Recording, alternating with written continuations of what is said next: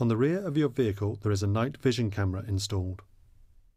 To operate the unit, select the reverse gear and the monitor in the dashboard radio will display the image direct from the reversing camera. Note: The reversing camera fitted to this vehicle should be treated as an aid to your reversing. AutoTrail VR Limited will not be held responsible for any accidents caused by driver carelessness.